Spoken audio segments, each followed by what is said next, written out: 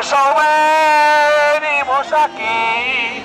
Esto tiene que cambiar. Defendamos las pensiones y ni un recorte más. Por eso venimos aquí. Esto tiene